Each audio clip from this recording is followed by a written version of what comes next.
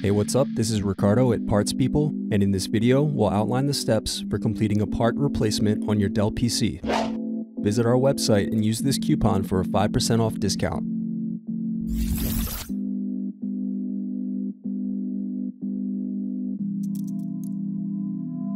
Unscrew and remove bottom base.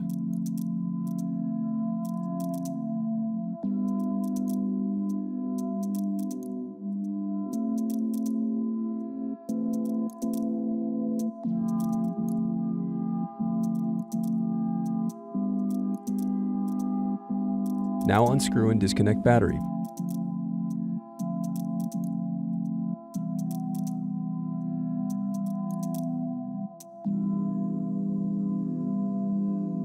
Then unscrew and disconnect wireless card.